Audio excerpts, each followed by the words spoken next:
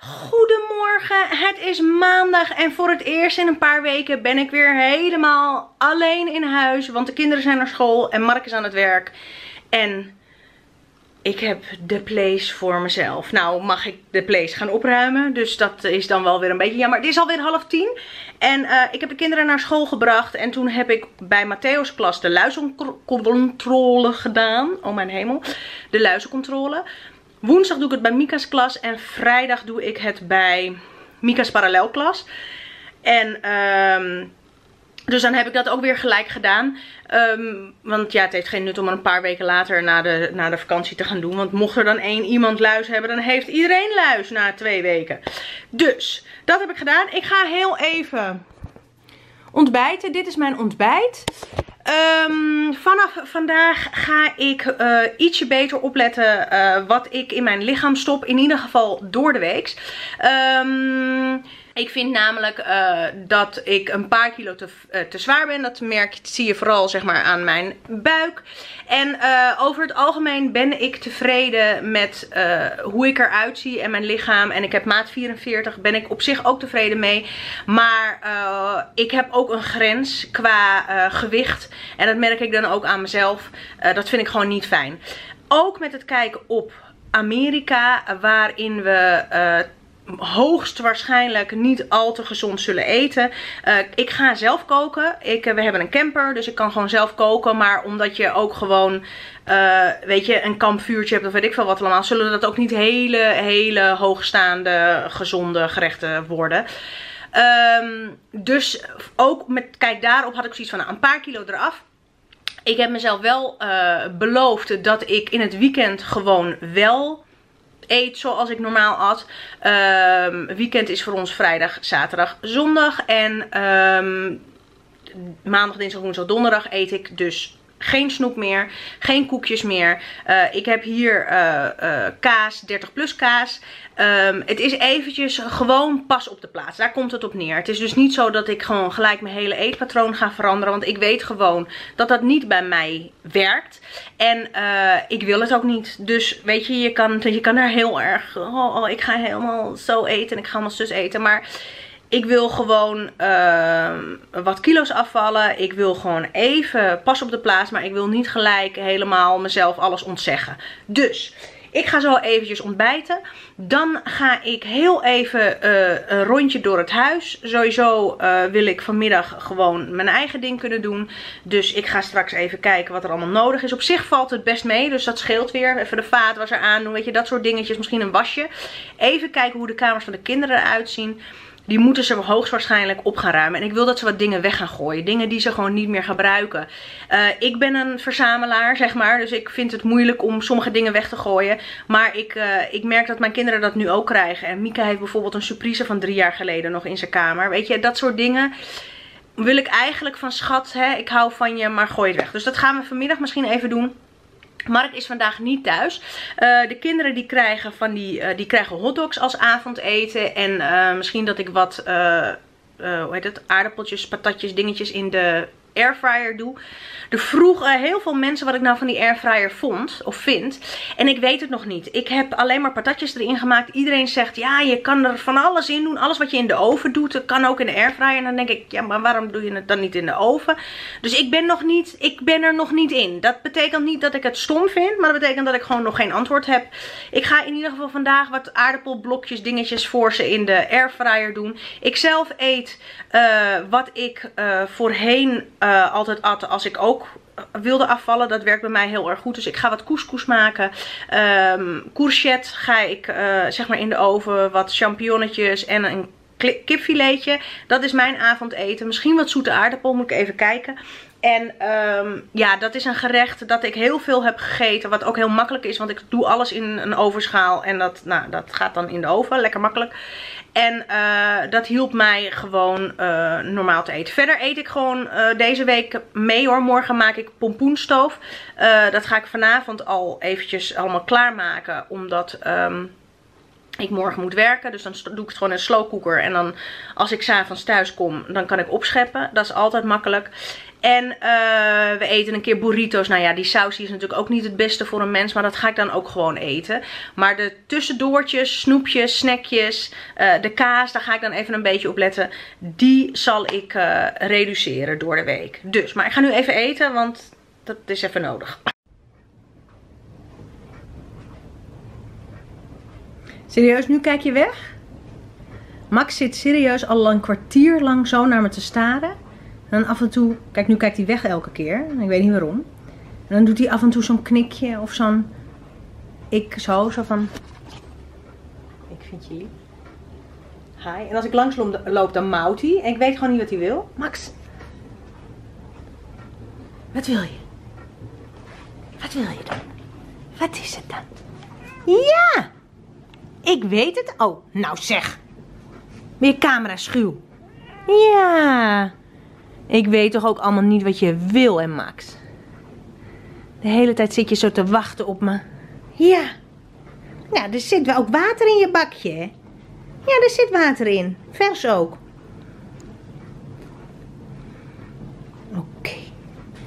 Ja, ik weet het, lieve Max. Ik weet het. Hé. Hé? Ja. Oh ja. Nou, hé. Hé, met je snorharen naar voren. Oh, wat een mooie snorharen. Nou, oké. Wil je gewoon even liefde? Dat kan ook, hè. Iedereen wil af en toe gewoon even een beetje liefde. Ben dus mijn uh, kruiden, nou, laadje, weet ik veel wat aan het opruimen. Ik heb hier, dit is, zijn de bakspullen, de zoete dingen en zo. Die heb ik nu helemaal uitgezocht. En ik ben me nu bezig met de kruiden en zo. En kijk, dit kan allemaal weg. Of het is over tijd. Of het zijn van die halve zakjes die dan helemaal door de vocht zijn verklonterd. En weet ik veel wat allemaal. En weet je, ik doe dit één keer in de zoveel jaar. Omdat ik, of nou ja, in uh, zoveel jaar. Ja, eigenlijk wel. Want ik vond iets van 2014 gewoon echt heel ernstig. Um, en dat is gewoon ook echt nodig. Maar dit is dus de verzamelaar die ik ben. Ik moet gewoon echt dingen weg gaan gooien die ik echt gewoon niet gebruik. En vaak heb ik zoiets van, oh ja, dan heb je een bakje of een potje of zo. En dan denk je, ja maar als ik eens een keertje crème brûlée ga maken, dan heb ik daar een bakje voor. Maar weet je, ik maak geen crème brûlée. Dat doe ik niet. Ik ben dus nu een beetje aan het proberen om dingen weg te gaan gooien. In etappes, hè, in etappes. Dat moet, dat moet rustig, want anders, anders word ik helemaal, helemaal zenuwachtig. Maar goed, ik ben nu bezig ik heb al een hele zak die ik weg kan gooien. Zonde, maar ja, weet je, ik bedoel, als het blijft staan heeft het ook helemaal geen nut, want het is gewoon over tijd. Ik heb het serieus al de hele dag koud. Het is buiten echt zo van dat Weet je, tot op het bot koud. Zo vervelend. Ik kom niet op het woord. Waterkoud. Ik vind het waterkoud vandaag. En ik ben eigenlijk alleen maar uh, vanochtend buiten geweest. Maar ik word gewoon niet warm vandaag. Het is echt niet fijn. Um, even kijken, wat heb ik de rest van de dag gedaan? Ik heb nog even een wasje opgehangen. Ik heb een serie gekeken. De jongens die zijn nu boven. Ze hebben lekker een kopje thee van mij gekregen met een koekje. Ik heb geen koekje gehad. Ik heb wel een appel met wat kaneel genomen. En uh, ik ben nu aan het, uh, het eten voorbereiden. Mika die heeft bijles, dus die, we eten wat later. En Mark komt toch thuis. Dus dat is toch een heel klein beetje een, uh, nou probleem wil ik niet zeggen. Het is altijd gezellig als Mark thuis komt. Maar ik had niet op hem gerekend. Kijk, ik heb natuurlijk gewoon boodschappen geko ge gekocht, zeg maar, om de hele week door te eten. Maar dan waren het gerechten die ik in mijn hoofd had voor vier personen. En um, nu had ik de kinderen al hotdogs beloofd. Ja, dan vind ik het flauw om opeens iets anders te gaan maken. Dus ik, uh, en die hotdogs moeten trouwens ook gewoon op. Dus um, zij eten hotdogs. Ik heb wat uh, frietjes gemaakt voor in de, uh, hoe heet dat ding? Airfryer. Ik ga het nog een keertje proberen, kijken hoe het werkt. Uh, voor mezelf ga ik kipfilet en ik ga wat groenten grillen en ik ga um, kipfilet, groenten grillen. Oh ja, ik had nog een zoete aardappel, dus misschien dat ik die in de oven doe of zo. Ik moet even kijken. En ik weet niet wat Mark wil. Ik heb ook nog een kipfilet voor hem als hij dat eventueel wil, maar ik weet niet of hij gegrilde groenten wil hebben. Um, dus wellicht dat ik gewoon een eitje voor hem bak. Maar dat hoor ik zo direct wel. Ik denk dat hij zo thuis komt, dus ik hoor wel waar hij, uh, waar zin in heeft. En verder, uh, ja, gewoon rustig. Ik moet morgen werken. Dus ik ga vanavond uh, alles voorbereiden voor de pompoenstoof.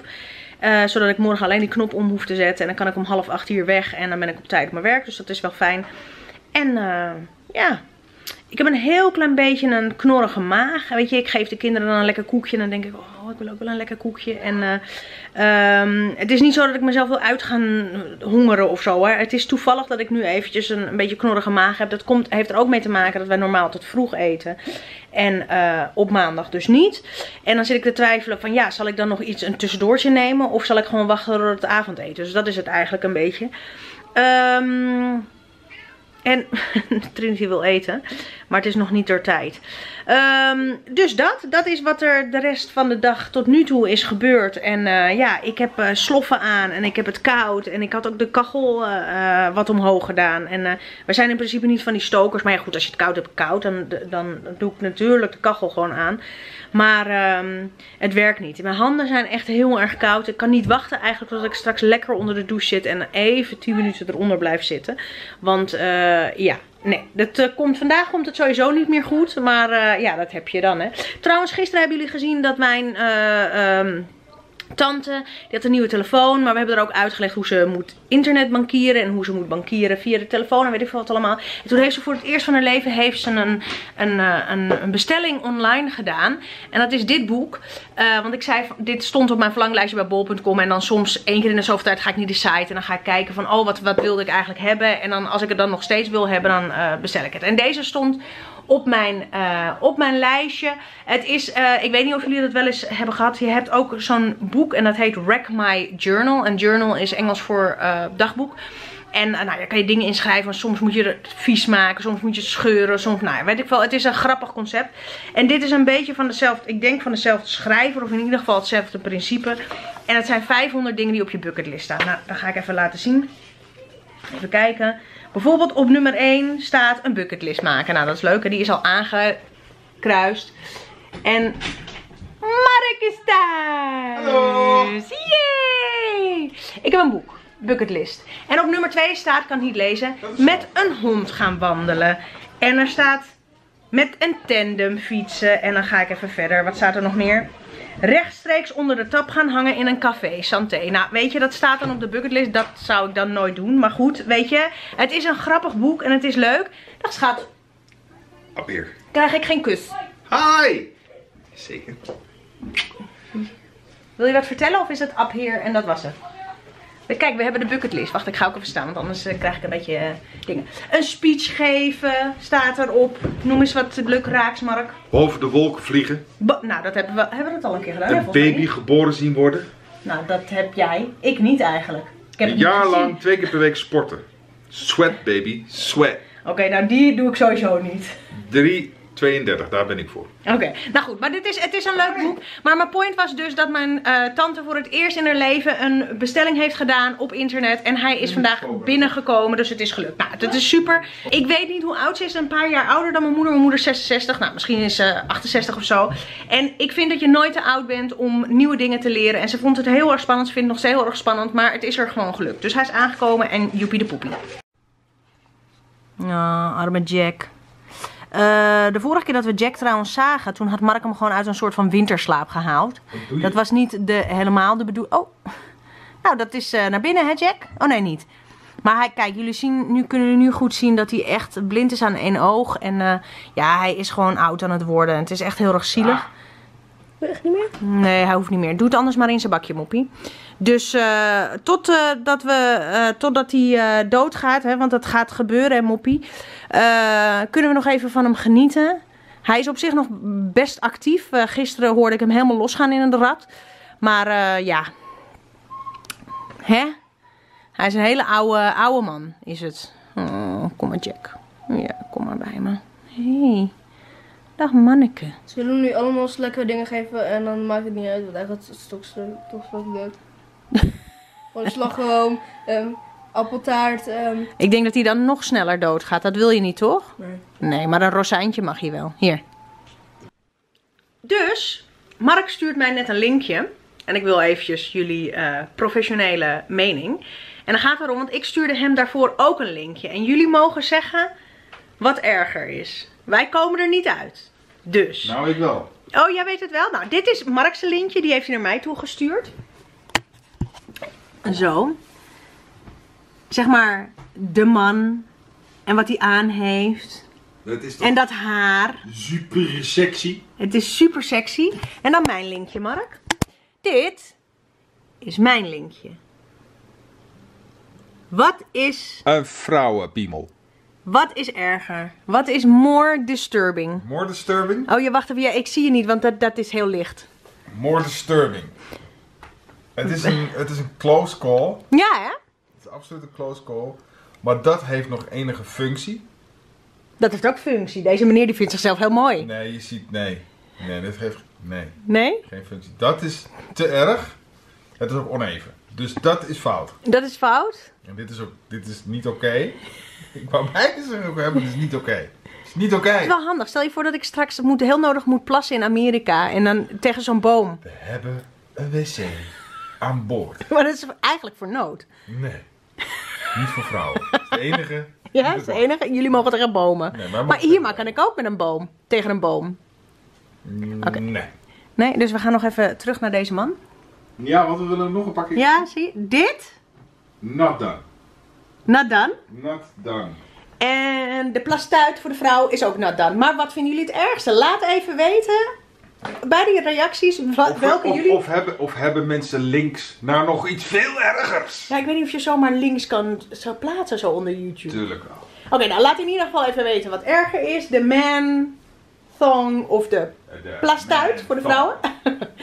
en als je nog iets ergers kan vinden, laat het dan ook even achter. Vind ik hartstikke leuk. Ik sluit hierbij ook nog eens de vlog af, want het is eh, half negen. het is half negen. Ik ben eh, lekker met mijn hummus hier zo bezig en mijn tomaatjes. Eh, ik ga op tijd naar bed, want ik moet werken morgen. Ik ga straks even lunches en dingetjes en zo klaarzetten. En dan zie ik jullie morgen weer. Smile for pretty.